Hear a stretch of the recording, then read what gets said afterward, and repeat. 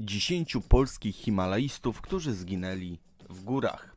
Zygmunt Andrzej Henrich. Polski taternik i alpinista, jeden z najbardziej doświadczonych himalajstów z zawodu inżynier budownictwa. Od roku 1962 wspinał się też w Alpach. Zginął w maju 1989 roku na stokach Mount Everest, po tym jak z bazy podszedł na przełęczy Lola, aby pomóc zdobywcom szczytu, Chrobakowi i Marciniakowi. W drodze powrotnej lawina zaskoczyła wyprawę. Zginęli Zygmunt Andrzej Henrych, Eugeniusz Chrobak, Mirosław Donsal, Wacław Otręba i Mirosław Gardzielewski. Marciniak został uratowany po skomplikowanej akcji ratunkowej. Henrich angażował się w pracę klubu wysokogórskiego i Polskiego Klubu Górskiego. Był członkiem Towarzystwa Przyjaciół Nauk o Ziemi oraz Himalayan Club. Był współautorem książki Ostatni atak na Kunyang Chi.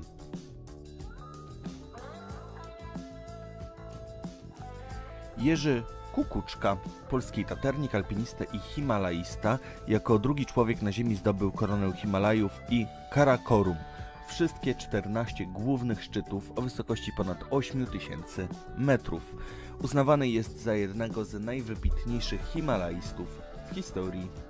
Zginął na wysokości 8300 metrów 24 października 1989 roku podczas wejścia na Lotse, nową drogą przez słynną niezdobytą wówczas południową ścianę. Szczyt atakował wspólnie z Ryszardem Pawłowskim. Kukuczka wspinał się jako pierwszy i tuż przed granicą szczytową odpadł.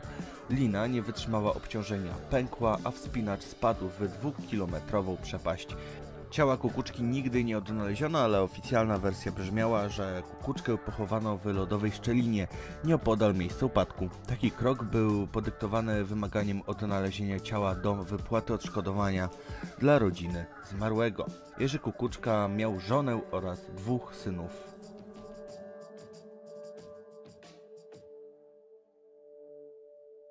Wanda Rutkiewicz Polska alpinistka i himalaistka zawodu elektronik, jedna z najwybitniejszych światowych himalaistek. Jako trzecia kobieta na świecie i pierwsza osoba z Polski stanęła na Mount Everestie, najwyższym szczycie Ziemi. Zginęła w maju 1992 roku podczas ataku szczytowego na Kanchenjungę. Wraz z Carlosem Carsalio 12 maja o godzinie 3.30 wyruszyli w górę z obozu czwartego na 7950 metrach. Po 12-godzinnej wspinaczce w głębokim śniegu Carsolio stanął na wierzchołku, schodząc napotkał Wandę na wysokości ponad 8000 metrów. Mimo braku sprzętu biwakowego zdecydowała się przeczekać noc i kontynuować wejście następnego dnia. Według ówczesnego komunikatu Ministerstwo Turystyki Nepalu uznało prowadzenie akcji ratunkowej za praktycznie niemożliwe, a informacja o zaginięciu Polki dotarła do Polski po prawie dwóch tygodniach, 25 maja 1992 roku. Jej ciała nigdy nie odnaleziono. Tadeusz Kudelski, polski himalaista, mieszkał w Gorzowie Wielkopolskim. W maju 1999 roku brał udział w wyprawie na Mount Everest organizowanej przez Ryszarda Pawłowskiego.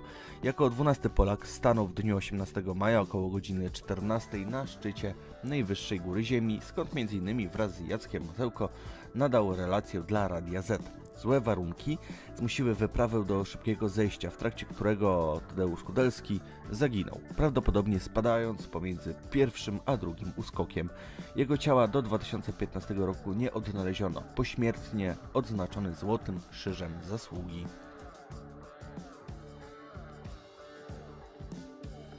Piotr Morawski, polski himalaista, zdobywca 6-8 tysięczników, doktor nauk chemicznych na Wydziale Chemicznym Politechniki Warszawskiej, wiceprezes Polskiego Związku Alpinizmu wraz z Simon Maro jako pierwsi ludzie zdobyli w 2005 roku zimą Shisha Pangmę, 14 szczyt świata.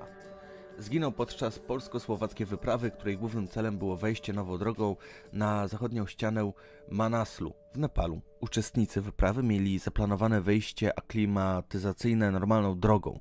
Podczas tego wejścia na wysokości około 5,5 tysiąca metrów Morawski spadł w 25-metrową szczelinę i zaklinował się na 20 metrze. Został wydobyty ze szczeliny przez swojego partnera oraz zespół spinaczy stopru, którzy w czasie wypadku przebywali na tym masywie. Reanimacja okazała się nieskuteczna i lekarz stwierdził zgon. Zgodnie ze swoją wolą został pochowany w Himalajach. Jego ciało zostało opuszczone na linach do szczeliny lodowej na wysokości 5700 metrów nad poziomem morza. Piotr Morawski pozostawił żonę i dwóch synów.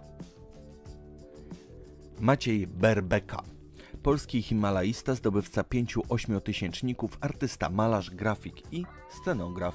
5 marca 2013 roku podczas zejścia po zdobyciu Broad Peak Maciej Berbeka i Tomasz Kowalski nie zdołali powrócić na noc do obozu, co zmusiło ich do biwakowania w ekstremalnych warunkach. Kowalski biwakował na grani na wysokości około 8000 metrów nad poziomem morza, a Berbeka najprawdopodobniej na przełęczy 100 metrów niżej.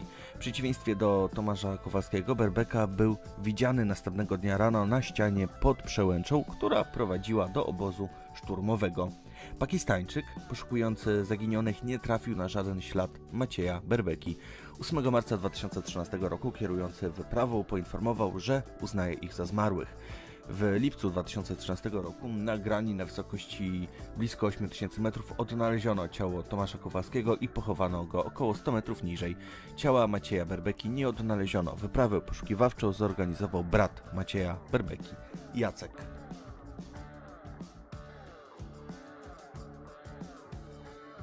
Tomasz Kowalski, polski alpinista, himalaista, uczestnik pierwszego zimowego wejścia na Broad Peak. Jak wcześniej wspomniałem, zginął razem z Maciejem Berweką. W raporcie zostały wykazane także niedociągnięcia techniczne i organizacyjne. Słabym punktem na wyprawie były radiotelefony, z których dwa uległy awarii w czasie ataku szczytowego, co uniemożliwiło kontakt uczestników wyprawy z kierownikiem. Za błąd Krzysztofa Wieleckiego uznano brak wymuszenia na uczestnikach wyprawy i tragarzach wniesienia butli z tlenem do najwyżej położonego obozu. Berbeka, pomimo wieku 59 lat, nie przeszedł przed wyprawą sprawnościowych badań lekarskich. Mimo tego wziął udział w wejściu na szczyt. Raport nie wykazuje żadnych nieprawidłowości postawy Kowalskiego i Berbeki. Za główną, nie wykazano w żadnym źródle przyczynę wypadku na Broad Peak, uznaje się więc niewłaściwe przygotowanie wyprawy pod kątem technicznym i organizacyjnym.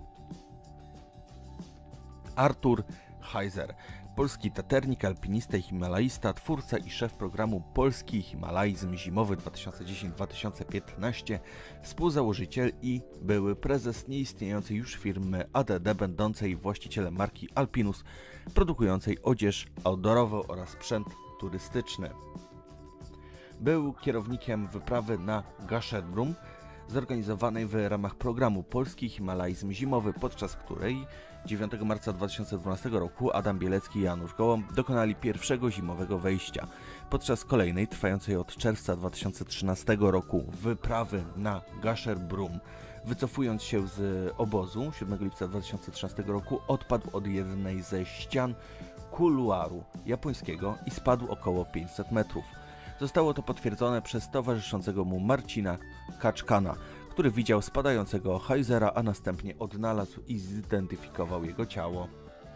Himalajista miał dwóch synów. Jego nazwisko zostało upamiętnione na pomniku alpinistów w Katowicach odsłoniętym w 2015 roku. Aleksander Ostrowski, polski narciarz, skialpinista, ratownik górski. 25 lipca 2015 roku zginął na stoku Gasherbrum, gdy z Piotrem Śnigurskim zajechali ataku szczytowego z uwagi na stan pogody oraz warunki śniegowe i z wysokości około 7,5 tysiąca metrów usiłowali zjechać na nartach do bazy. Dzień później zarząd Fundacji Wspierania Alpinizmu Polskiego wydał oświadczenie informujące o podjęciu decyzji o zakończeniu poszukiwań Aleksandra Ostrowskiego ze względu na trudne warunki pogodowe i terenowe oraz brak śladów zaginionego. 1 sierpnia 2015 roku w kościele w Wetlinie została odprawiona msza święta w intencji zaginionego Ostrowskiego, połączona ze wspomnieniem jego osoby. 11 listopada 2016 roku została odsłonięta tablica poświęcona pamięci Himalajisty. Tomasz Mackiewicz, polski himalaista, laureat Kolosa 2008. Mackiewicz wraz ze swoją francuską towarzyszką Elisabeth Rivol podjęli próbę wejścia zimowego na Nanga Parbat w styczniu 2018 roku i według niektórych źródeł wieczorem 25 stycznia oboje dotarli na szczyt. Podczas schodzenia pogoda uległa załamaniu. Według relacji Rivol Tomasz e, Mackiewicz nabawił się choroby wysokościowej, ślepoty śnieżnej oraz licznych odmrożeń. Francuska sprowadziła partnera do wysokości około 7200 metrów i 26 stycznia wyruszyła w dalszą drogę powrotną, zostawiając go w Szczelinie. Zgodnie z opinią doktora, francuskiego specjalisty od medycyny wysokogórskiej, w momencie rozstania Polak przejawiał objawy obrzęku płuc w ostatnim stadium i na tej wysokości mógł jeszcze przeżyć nie więcej niż 3 do 5 godzin. 27 stycznia na ratunek wspinaczom wyruszyli członkowie Polskiej Narodowej Wyprawy Zimowej na K2, którzy zostali przetransportowani śmigłowcem spod K2 na Nanga Parbat.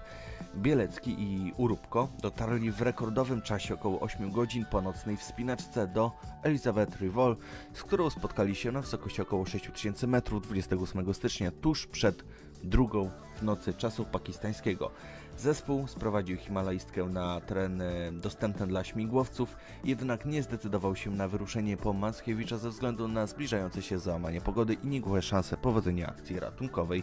Mimo to wyprawa ratunkowa odbiła się szerokim echem w polskich i zagranicznych mediach i została doceniona za postawę uczestników. W marcu 2018 roku ojciec Tomasza, Witold, otrzymał z Pakistanu akt zgonu, w którym jako datę śmierci przyjęto 30 stycznia.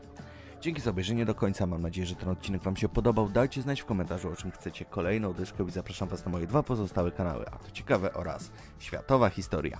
Trzymajcie się, cześć!